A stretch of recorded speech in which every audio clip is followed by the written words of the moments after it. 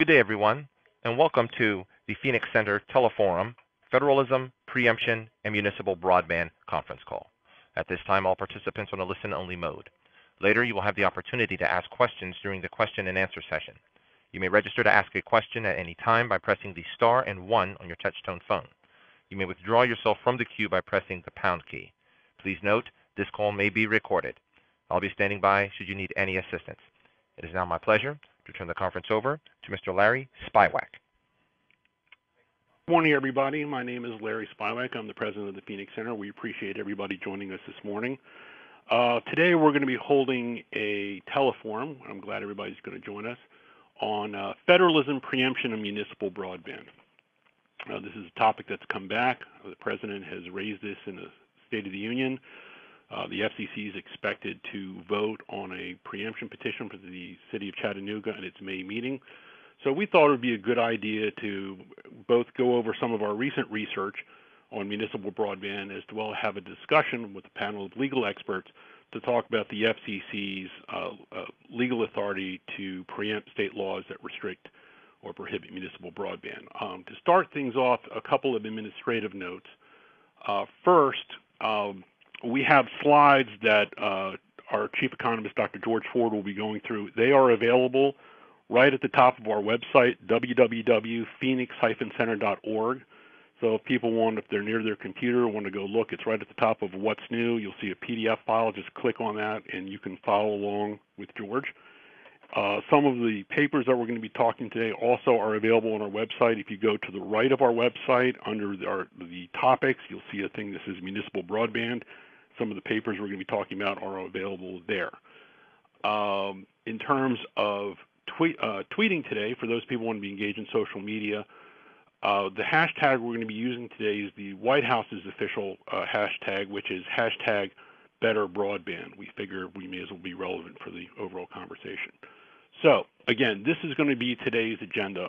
Um, I'm going to hand this off in about a minute to our chief economist, Dr. George Ford, who will walk through our recent research on this topic. After that, George will go for about 15 minutes. We will then have a discussion uh, on the FCC's legal authority with a panel of really just terrific lawyers, and I'll get to that in a moment. We've got Russ Hanser from Wilkinson Barker, uh, Brad Ramsay, who is the general counsel of NARUC, and Jeff Lanning, who's the vice president of government affairs from CenturyLink. So without further ado, I will now turn this over to George. Um, George, take it away, please. Uh, I'll do it. Uh, we'll have the uh, slideshow if you have it. I'm, I apologize. I didn't. I think I've done this twice now for these things. Failed to number the pages, but at least on my browser, it'll tell you what page um, that we're on. And I'll start with what is page four on the uh, online page or the online presentation.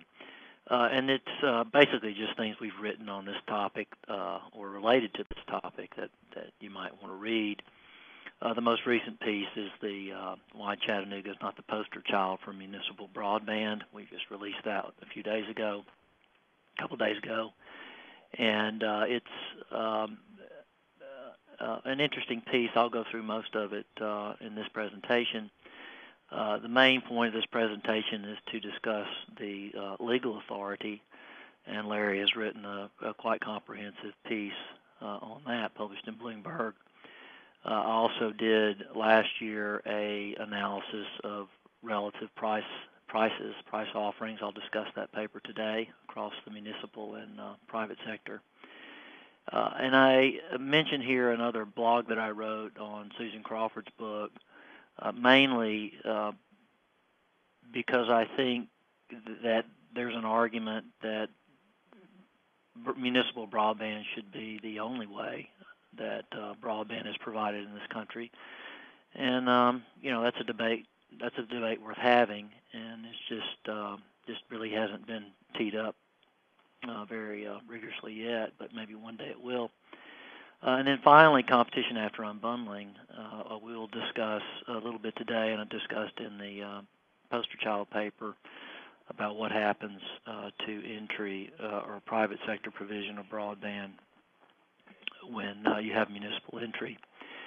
And I'll discover, discuss that a little bit today. the next slide, page five, um, other things from me. Uh, about 10 years ago, I spent a pretty good bit of time thinking about municipal broadband, published a couple of papers uh, in that area, and actually uh, provided some advice to a municipal electric association on legislation. And these papers have uh, are published, and uh, the one I wrote with Tom Koutsky on economic development is actually commonly cited. Uh, so I've been doing this for a very long time, um, at least 10 years, uh, on uh, on some pretty heavy thinking on municipal broadband. I kind of put it away for a while, so I'm having to dust off the cobwebs a little bit. Um, but the, uh, the question is uh, um, on slide six: um, Is municipal broadband a good idea?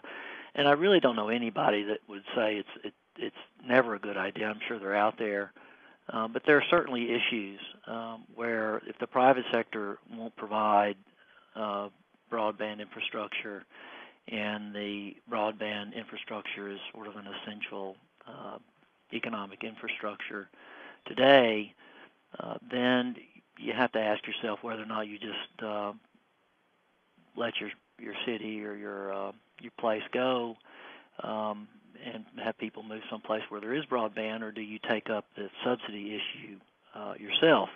We do have some subsidies, and we're trying to have more subsidies for broadband. It's not clear whether or not those subsidies will be sufficient to wire everywhere. I doubt they will be. Um, so it's natural for a city to say, I don't have it, I want to take it on. I think what's interesting about that is, um, for the most part, I think any municipal broadband system should largely be the only system in, in a market and should probably be subsidized forever. Uh, if it's profitable, uh, the odds are the private sector could have done it. So if they're providing where the private sector will not, it will not be profitable and therefore require some subsidization.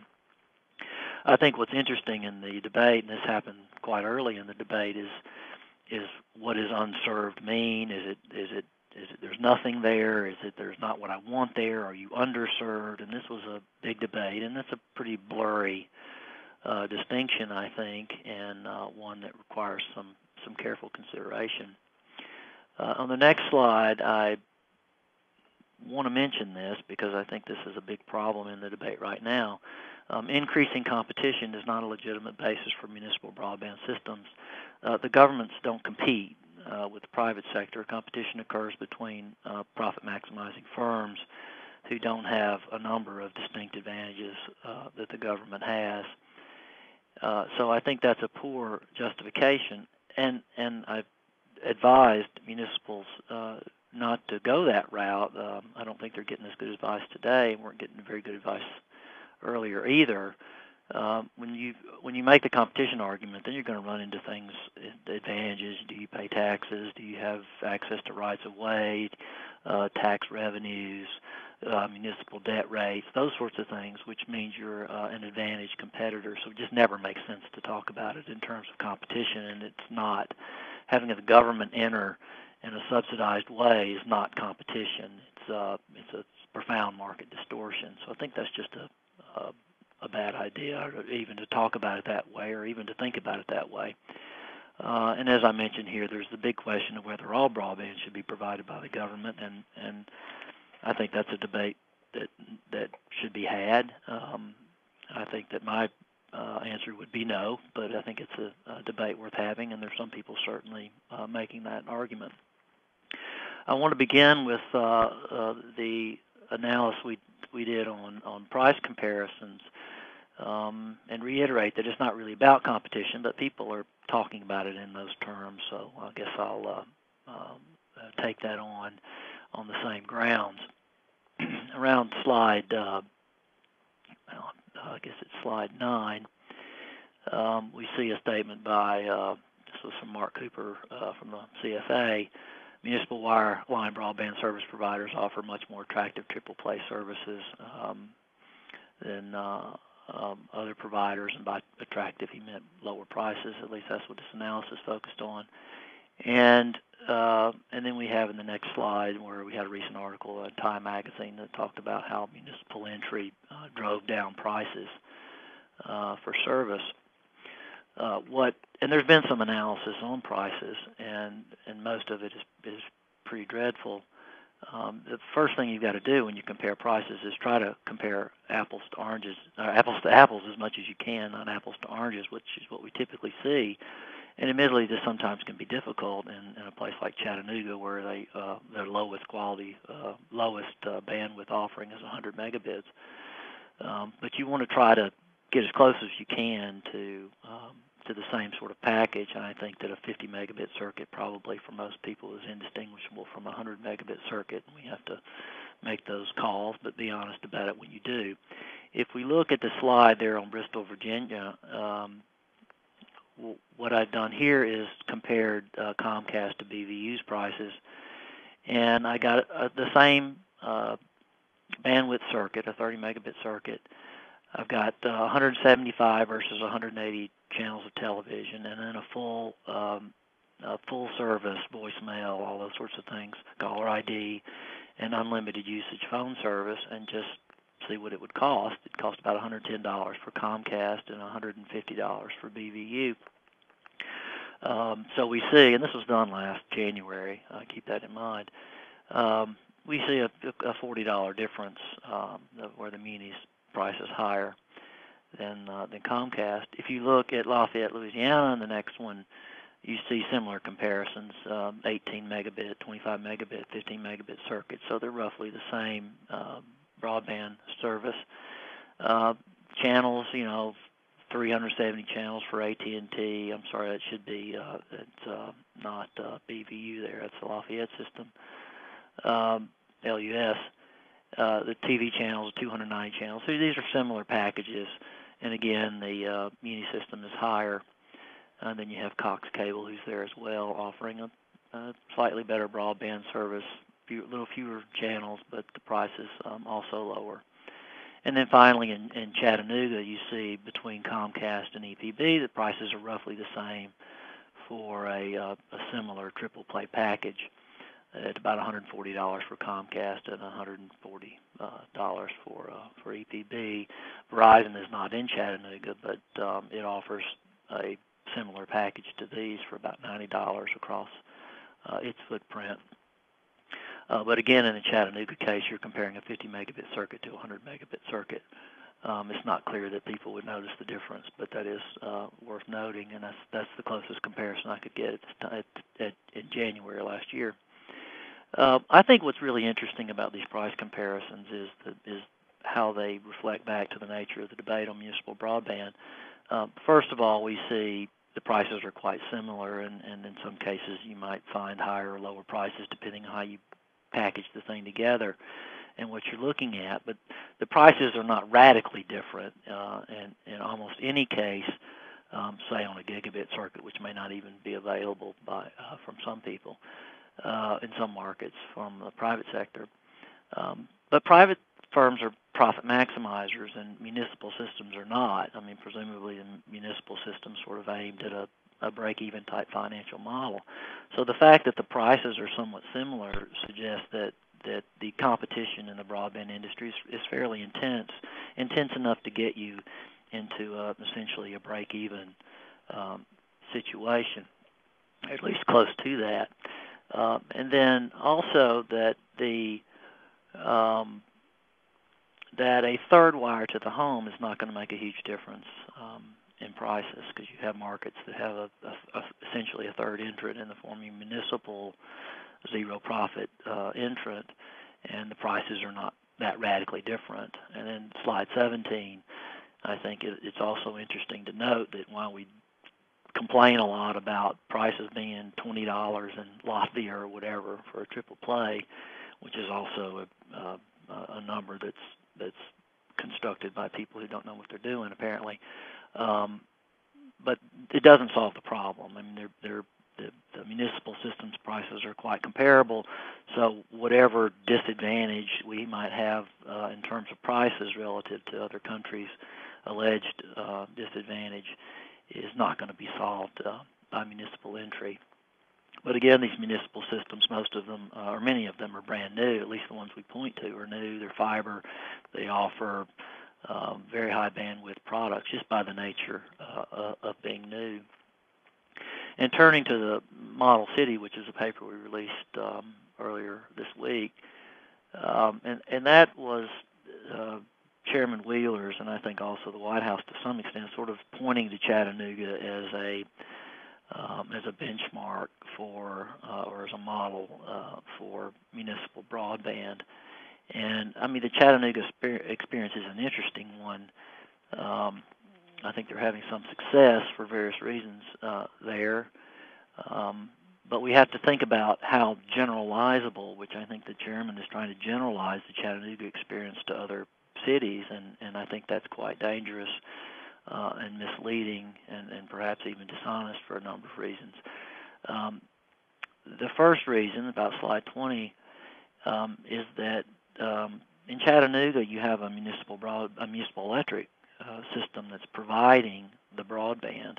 Only about 15% of the country has a municipal electric, and obviously, being in the electricity business is going to provide you with uh, some benefits, some potential spillovers from your electric to your broadband division. You know about running wires. You know how to. You have the equipment to hang things on telephone poles and run it through conduit, and and you deal with customers and you deal with bills, and and, and you have people driving trucks around. So there's there's a, a lot of opportunity for legitimate spillovers between the electric division and the broadband division.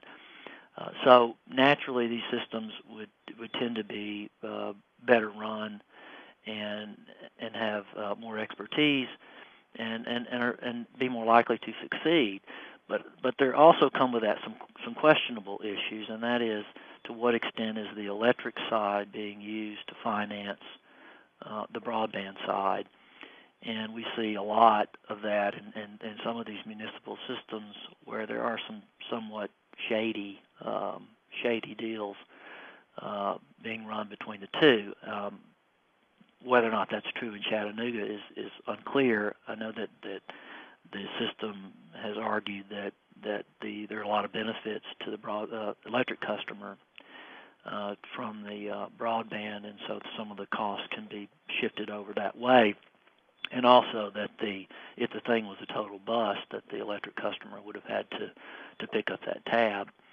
Um, I also think what's interesting, and this was in a footnote in the paper, is that we you have all these advantages from the electric division to the broadband division, but we don't see uh, the investor-owned utilities doing these sorts of things, which I think is is interesting and, and I think is primarily a regulatory issue. We have we have we have the president and the chairman of the FCC trying to push municipal broadband and make it easier for them to enter, but nobody has has even thought about the uh, private sector electric utilities uh, getting in this business who serve 85% of the customers. Um, so I think that's an, an interesting distinction. Um, I think also that that the in any municipal situation, it's very hard to get a real clear look at the finances. Uh, and in fact, in the in the case up in Burlington, Vermont, you ended up having the FBI and some others involved trying to figure out uh, what what went wrong uh, there and how the finances were being handled. Uh, slide 21. The other issue is that about a third of the the uh, construction cost of the Chattanooga system were paid for by the federal government in the form of a grant, not even a loan, but a grant. And that's about a $2,000 per customer gift uh, from people from the federal government, which means people who don't live in Chattanooga. So you, people living in Washington D.C. and people living in Birmingham, Alabama, are actually paying for uh, a uh, advanced broadband system in Chattanooga, which I think should should bother people a little bit. And then the question becomes, well, if we want to have broadband everywhere and you need a third of your network paid for by the government, by the federal government, what would that price tag be? And about 220 billion dollars by my uh, uh, rough calculations.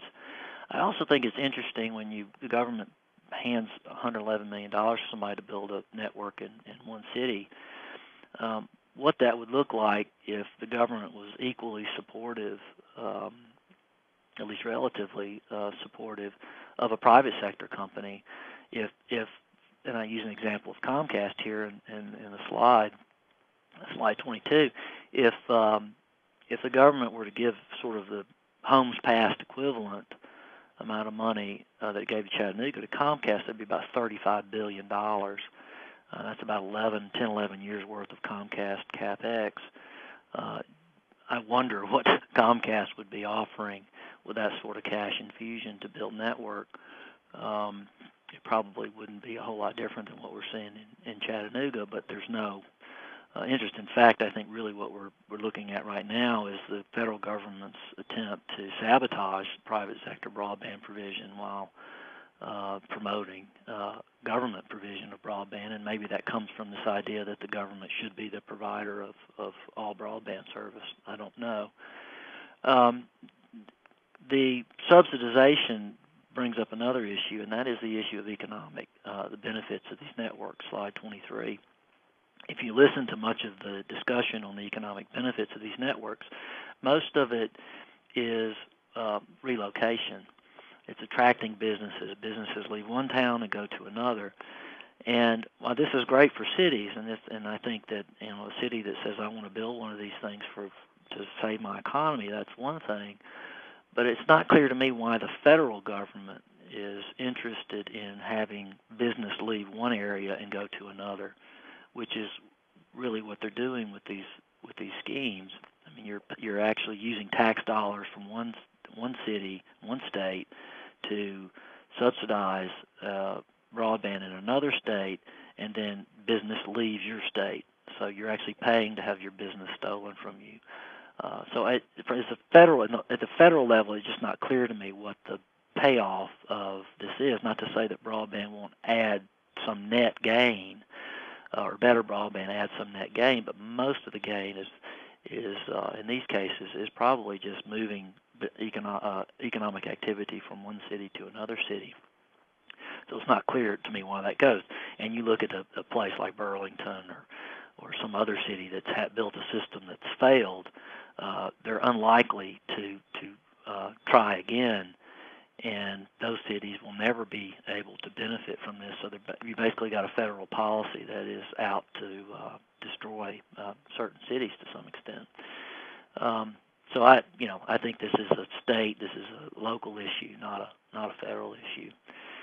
Um, the uh, finally, there's a uh, what we might call a crowding out effect, and that you know the, the number of broadband providers in most areas is a small number, and there's a reason it's a small number, and that is because it's a very expensive and difficult business.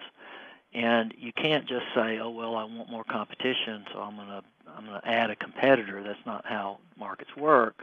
If you add another competitor through some scheme, subsidization, grants, whatever it may be, essentially the market's going to clear at some point, and and there's a, a pretty good chance somebody's going to have to leave or or else uh, reduce their uh, investment in an area. And I think there's some evidence uh, of that happening, and we may hear more about that later, where you know you there's greener grass. I mean, one of the issues interesting when I was working in the in the uh, uh, advising a municipal client, one of the things was the cities felt that they couldn't get the attention of the private sector because they're just greener grass or just better places to invest.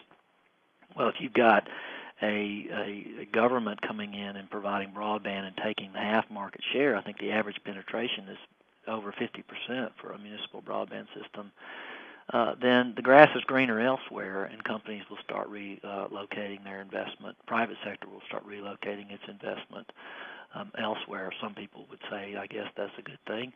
Uh, some people would say um, say that it's not.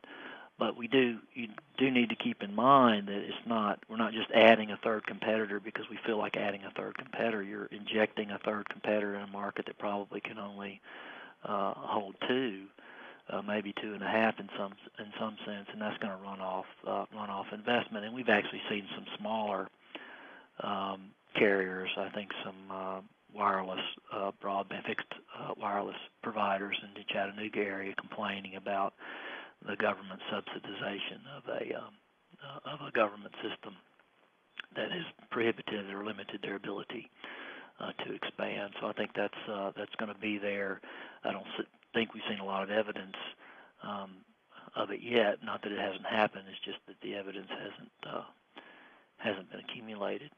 And that about sums it up. Uh, there's a lot more, of course, to talk about on this very complex issue, but this is a legal discussion, so I'll turn it over to the uh, to the scholars.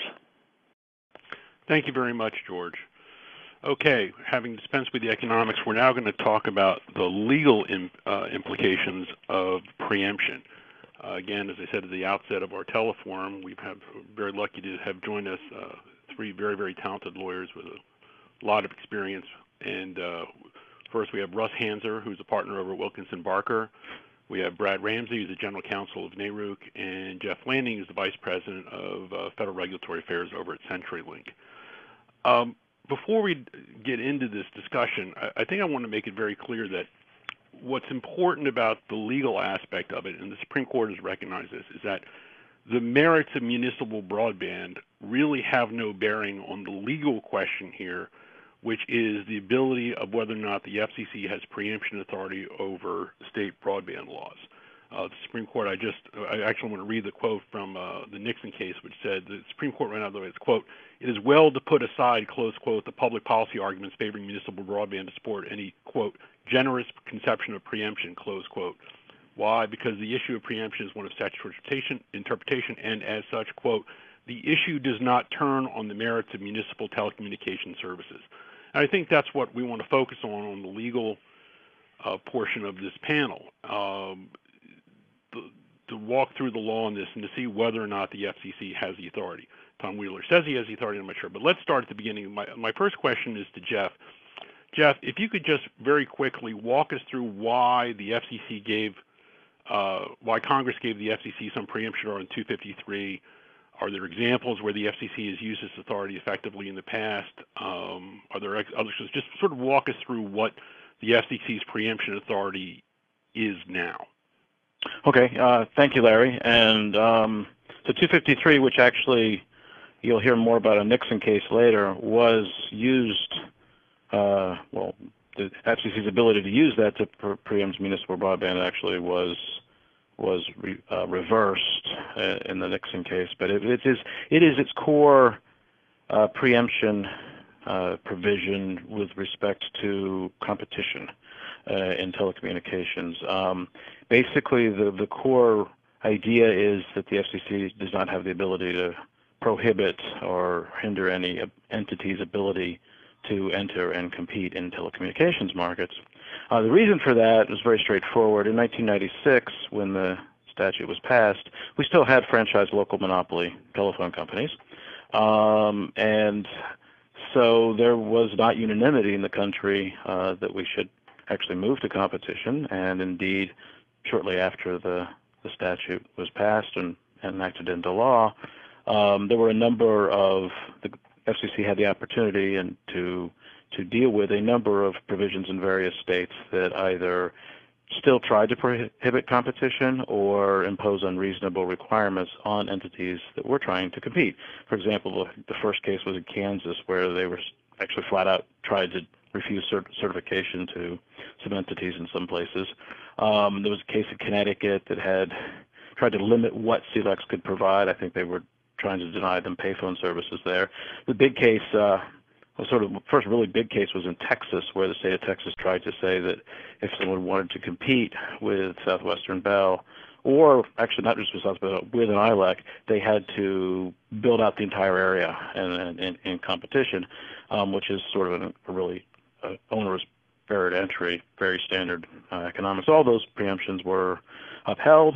Um, that that legacy uh, would not, would, I don't think, looking at what we're looking at today, is, is, sort of very different than the current situation. I think, for example, the city of Wilson has sought preemption of the North Carolina law it claims as a barrier to entry, and and when, when one reads that, a number of the provisions actually are really just level playing field provisions, like number four, uh, sort of, is this, uh, sort of section A dot A, A4 says that the no municipality shall directly or indirectly use the powers of the city to force people to buy the local municipality's broadband service, or that seems like a perfectly reasonable pro-competitive provision. Don't know how you could say that's a, a barrier to entry. Um, in fact, the provision itself would be a barrier to entry in some sense. I mean, if the municipality were able to do these things. And that continues. Uh, municipalities are not covered by pole attachment statutes, so the law says, you know what, if you're going to be here, you got to let other people get on your poles the same way that they can get, you know, that you can get on their poles. Um, don't use special advertising. Don't cross-subsidize from other services that are municipal services. You know, all all basic things that one would think would not be covered by this kind of preemption. So it'll be very interesting to see how the FCC deals with that. And I, it's worth noting why we have these statutes, the history. George touched on this a bit, but the history in, in municipal, uh, both cable, because this happened a lot in the early days of cable. And of course, most of those systems, it turned out, ended up being sold because there was economies of scale and it's a difficult business. Um, but in broadband, it's very, very mixed history, and one classic leading case is in Utopia, Utah, and um, tons of money's been sunk into this. It hasn't worked, and actually, to this day, um, the people of Utopia have to pay a fee to cover the debt of the existing of, of the municipal provider, whether or not they buy from it or not.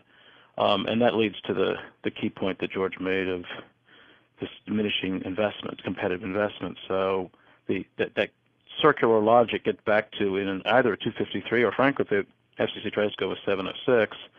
The history suggests that um, sort of trying to put level playing field restrictions on municipalities rather than being a barrier to competition probably enhances competition. So. All right. Well, the main case that, that the FCC dealt with with, with municipal uh, utility laws was a case called Nixon versus Missouri mm-hmm. Municipal League. And Russ, if you wouldn't be, if you would be so kind, if you could sort of walk us through the procedural posture of that case, what it was about, how the FCC ruled, and then how the Supreme Court ruled, to set the background for what we're going to talk about. Sure, sure, I'd be happy to. And actually, I'm going to, um, uh, and thanks for having me, by the way. Uh, step back, and you know, as often with big legal cases, there are other cases before them that have some relevance. So I'm going to start actually with this uh, City of Abilene, this, this Texas matter, uh, which was a, wound up as a D.C. Circuit case. So in 1997, right after Congress passed and the President signed Section 253, the FCC w- was asked to consider a, uh, uh, whether whether Section 253 authorized preemption of this Texas law uh, regarding provision of telecom. Uh, and the agency did, in fact, preempt parts of the law, but said Section 53, 253 did not empower to preempt uh, this this um, provision precluding Texas localities from operating private uh, telecom services. And so the FCC in that matter held that Texas, the Texas municipalities were not entities under the terms of Section 253, which says that you know entities uh, it, it, it, could um, preempt actions by entities. Uh, so they were not entities separate and apart from the state of Texas uh, for the purposes of applying Section 253A and that preempting the enforcement of the prohibition would insert the commission into the relationship between the state of Texas and its own political subdivisions in a manner that wasn't intended by the statute. Uh, in that decision, the FCC relied on a 1967 Supreme Court case called Sailors versus Board of Education of Kent County, which held that political subdivisions of states never were and never have been considered sovereign entities, rather have been regarded as subordinate governmental instrumentalities created by the state to assist in the carrying out of state governmental functions. That's a theme that remains important in this debate and, and through my remarks here.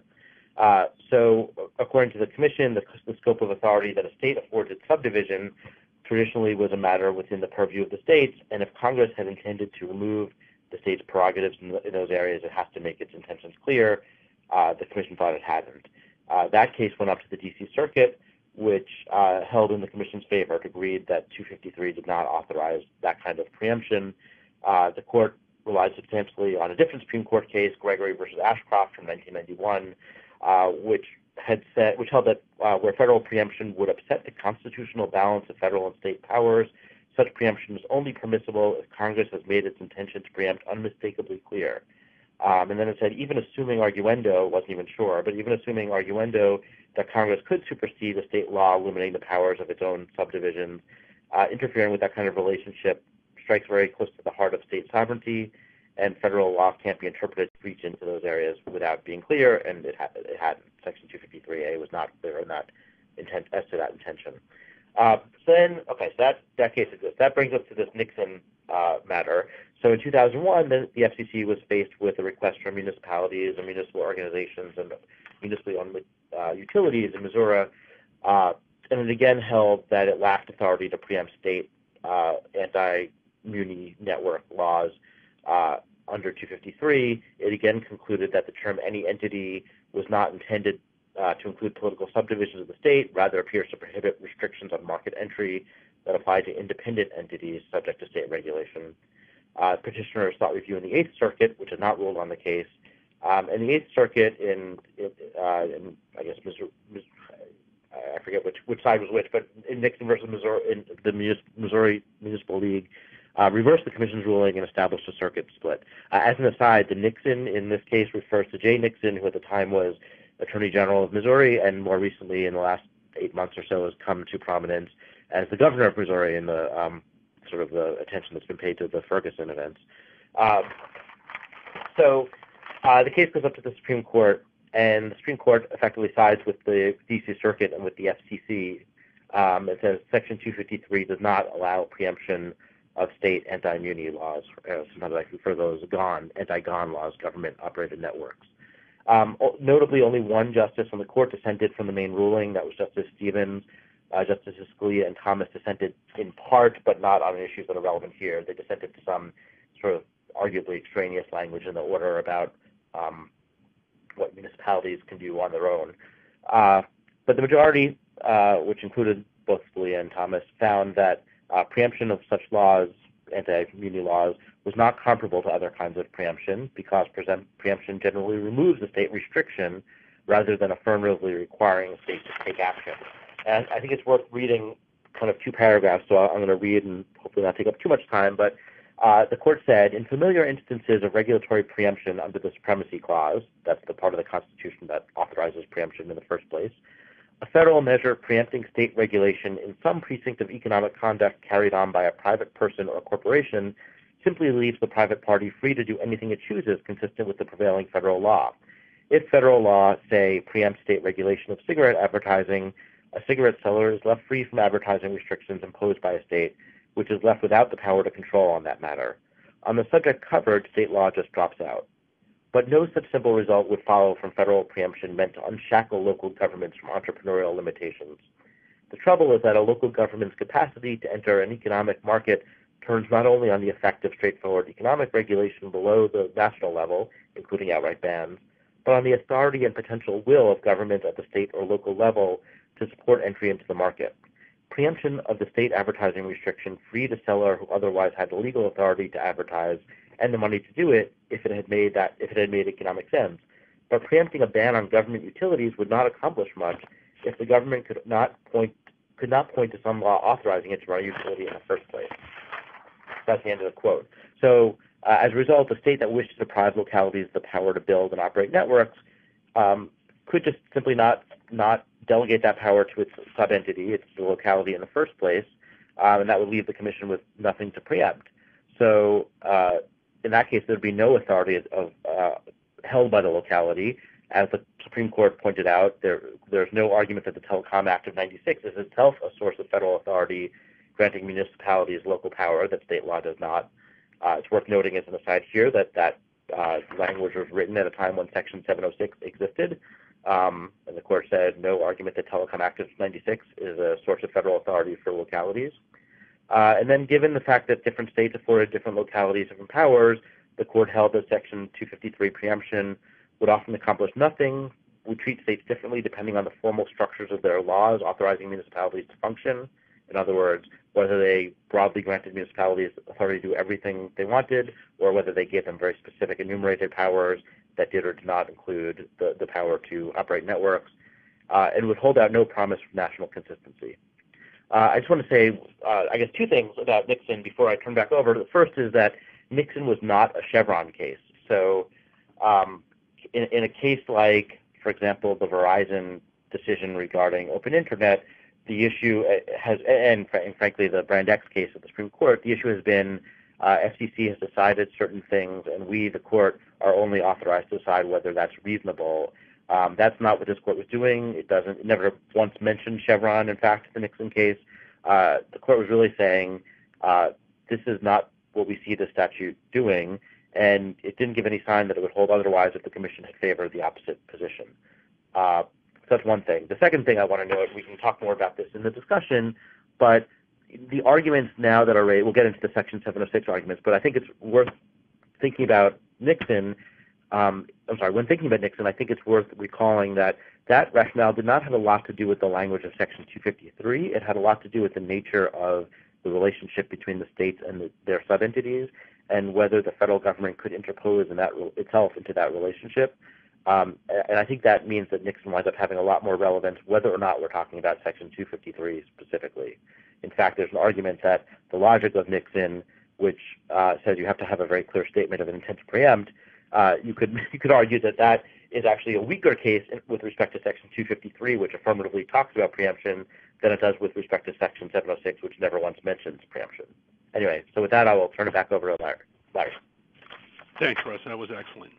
Okay, so now we've got the background of Section 253. We've got the background of the Nixon case, and yet we've now we've had public statements by FCC Chairman Tom Wheeler, presumably post the Verizon v. FCC case with the use of Section 706, where Tom Wheeler has said, "I believe I have the authority, and I intend to use that authority."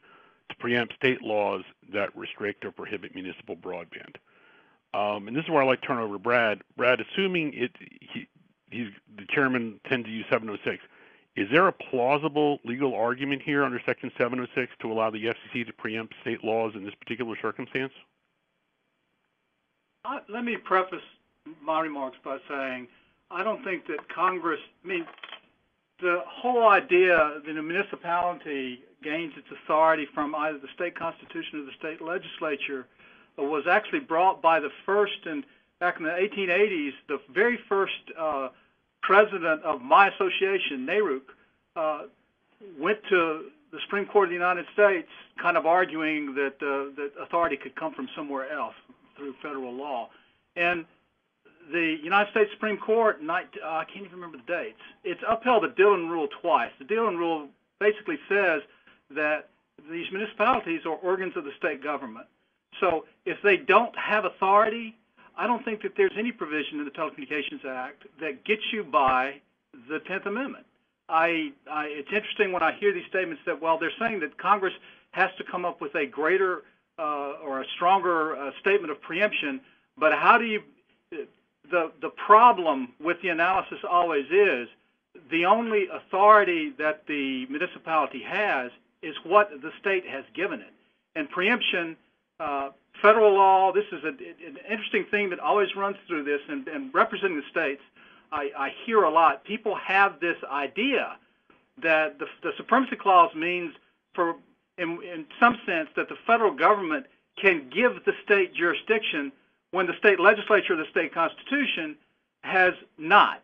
And that's a enormous falsehood. And, and I can cite an easy example. You know, NARUCs, the people that I represent, uh, are just like a municipality, an organ of state. We are authorized by state legislatures and in some cases by uh, state constitutions.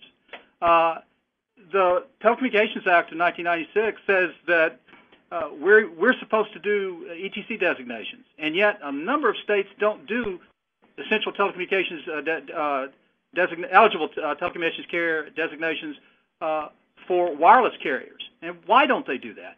They don't do that because their state legislature has not given them authority over wireless telecommunications services in any form.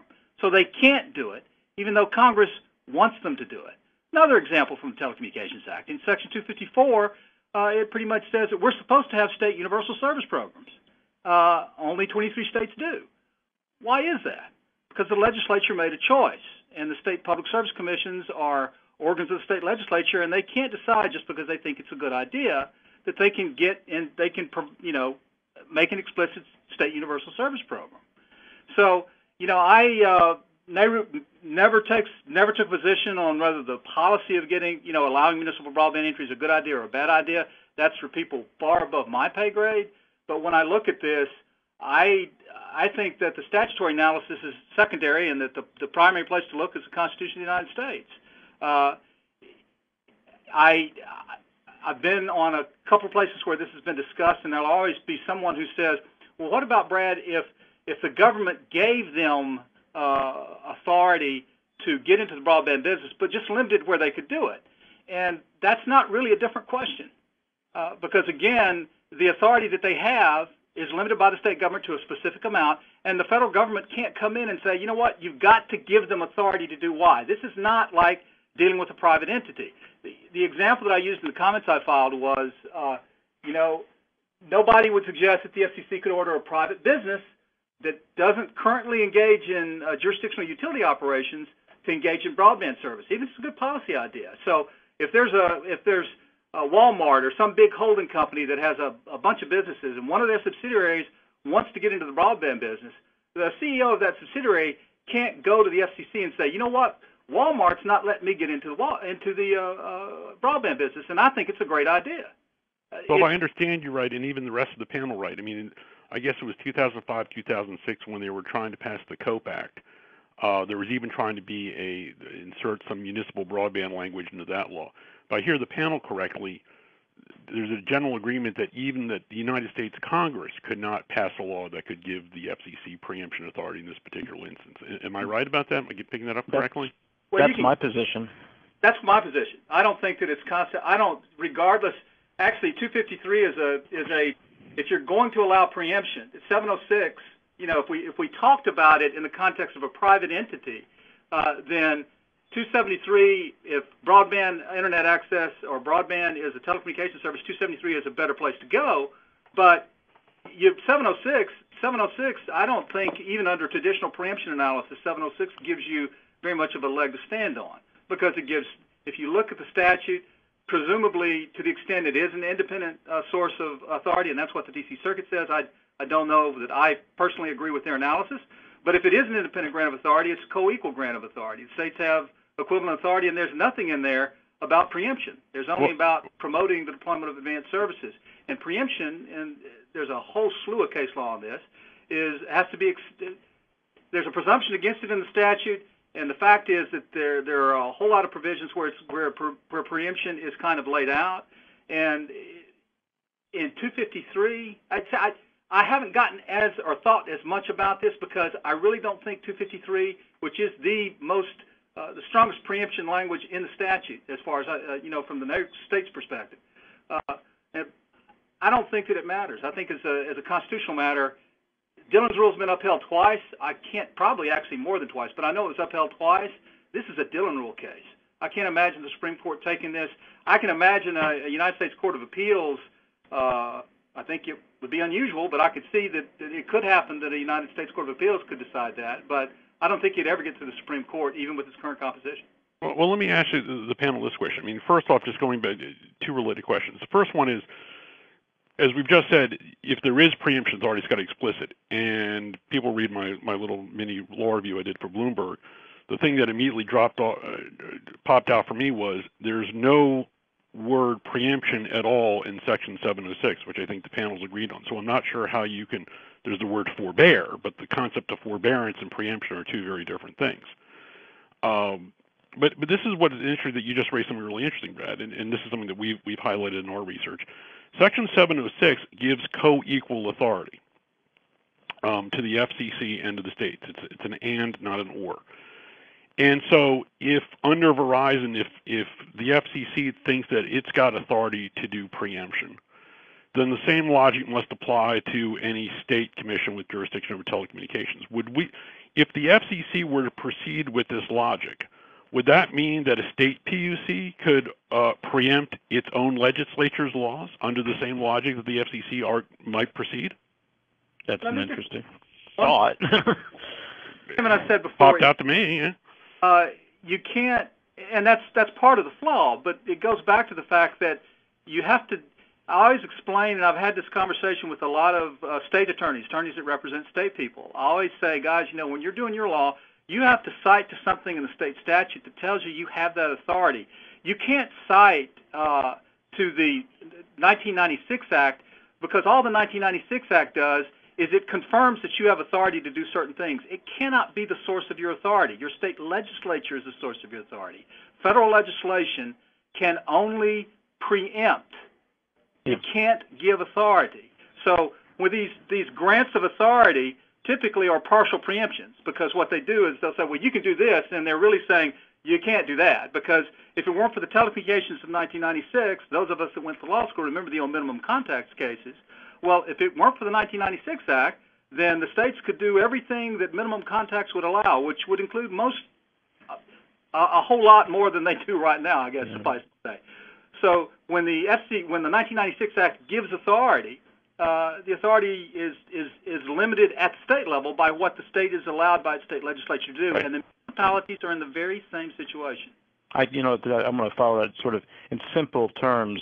Um, it's if the people of state, you know, putting aside the benefits or not of municipal networks, and I will point out that most of the world had government-owned telecom networks for most of the 20th century, and the results were uniformly so poor that we got an international treaty whereby everyone got governments out of telecom networks. So, but putting putting that aside, um, the, the, the, if the people of state X doesn't matter what state, and you know we can raise questions or throw cast aspersions on the legislative process, but it is what it is. If the people of state X decide that they don't want their state government and its subsidiaries, which include municipalities, doing something, I do not see how the FCC or, frankly, even Congress can step in and say, no, you people, you must have your state do that thing.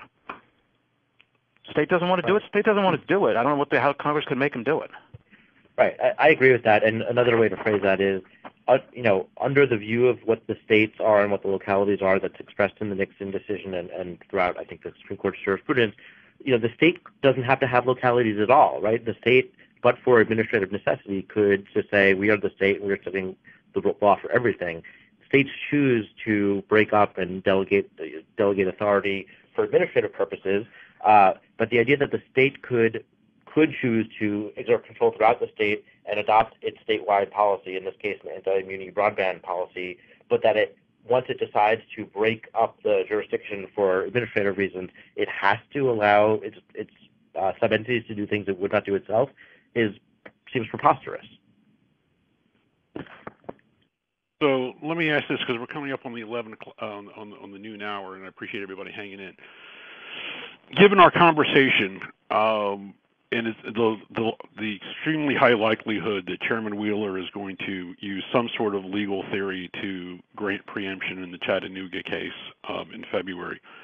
Just a quick lightning round. What um, are the odds that this is going to be overturned on appeal both at the D.C. Circuit, if it goes to the D.C. Circuit, or eventually the Supreme Court? Brad, what are, what are the odds of being overturned?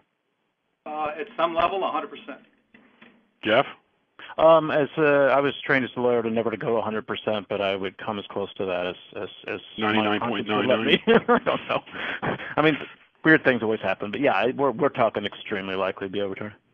Russ? Yeah, I mean, I'd say you know I'm conservative like Jeff, so I'd say 85 to 90 percent. And by the way, I think it fares worse in the Supreme Court than it does at the D.C. Circuit because of the federalism issues Brad mentioned. So, as we're all telecom professionals, why do you think we're doing? Is this just for show? I mean, you've got the White House making this a central issue. Why, putting aside, why are we going through this exercise? I mean, one of the things I found fascinating in the, the uh, Nixon case, when you read the FCC order, was actually granted on Bill Kennard's last day, and it was voted unanimous by a Democrat-run FCC. And I got to imagine that the general counsel was probably Chris Wright at the time said, you know, Bill, I'd love to do it, but you've got a real legal problem. And if you read Kennard's uh, concurrent statement, he goes, I really want to grant this, but we don't have the authority. Why? Why are we doing this now? Is it this just actually, for political show? It was John Nuechterlein, actually. He, oh, was it John? Okay. At the end, but go ahead. Who's also a very, very talented lawyer and now the general counsel of the Federal Trade Commission. So I mean, my point is, we, oh, so basic politics. You know, the FCC has a role that's quasi-legislative. Um, you know, legislatures sometimes pass laws that they they can't because they feel like there's there you know that's what the democracy wants. Um, you know, it's what people want. I don't know. Certain Yeah, I interest mean- groups want this. by, by the time by the time this gets to the Supreme Court, or by the time this gets decided by the Supreme Court, President Obama is going to be serving as the most popular professor at University of Chicago Law School, right, or or, or whatever he else he decides to do. It's so far in the future. There's a political bang for the buck now, you know. And you know, at least three of us have, have worked in the commission. Uh, you know, OGC has its say, and it tells the chairman uh, what the legal risk is, but that's not necessarily the last word. And sometimes political considerations overturn the over, overrule those legal considerations. Well, let me just say this. You know, even people that trust me to be right on guessing what the courts will do are frequently disappointed. So, so who knows what the federal court's going to do? And and I will say this: I the one thing, not the one thing, but one of the things that has pressed, uh, impressed me about Mr. Wheeler uh, is if if he really thinks it's the right thing to do. This is my personal view. If, if he if he thinks it's the right policy, I think he'll do it, uh, and and he'll roll the die even if he's getting advice that it's uh, it's a, a, a it may not it may not have a good chance. It may. So, you know, who's to say? You never know what the courts are going to do. Well, again, I want to thank everybody for participating on the, on our panel discussion today. I really, really appreciate it. It was an excellent, excellent discussion. I hope everybody who dialed in enjoyed the conversation. Uh, we thank you very much for participating. Again, all of our material is up on our webpage, www.phoenix-center.org. Uh, some of our muni broadband stuff is actually again in our muni broadband category over there on the right side. And we have our stuff on our blog. So thank you very much, everybody, for participating. We'll catch you the next time. Thanks.